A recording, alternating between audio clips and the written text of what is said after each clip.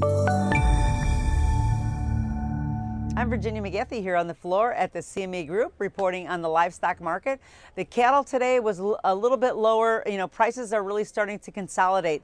Traders today were waiting for the cash buyers to come in. So far, nothing doing, and the market's really starting to sink a little bit. Today's the last day of the December contract, and that was uh, kind of uh, really uh, lower by almost, uh, you know, 155.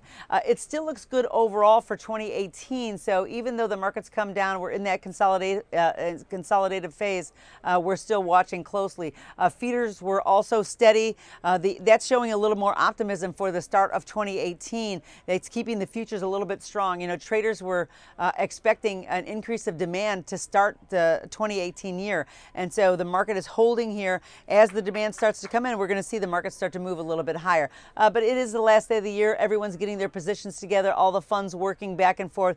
Kind of a light trading day. the market, though, so uh, looks like they, we're going to get a turnaround starting next week. Uh, in the hogs, they were higher again. They're extending their gains and pushing futures to a new uh, recent high as well. You know, increased demand has been underpinning the higher prices, and that's really holding them, uh, you know, been keeping that rally uh, going. Now we're getting close to the big resistance level. If it pushes through, then all bets are off. But season, uh, seasonally, the usually the start of the new year, normally the pork prices are a little bit weaker we expect that market to kind of go lower for the next four or five weeks. Uh, the market is shaking that off right now, but today is the last day of the year, so we'll see how that goes and see if we don't get follow through buying uh, on Tuesday, uh, then we may see the market start to shift and start to pull back somewhat. But we'll watch that closely.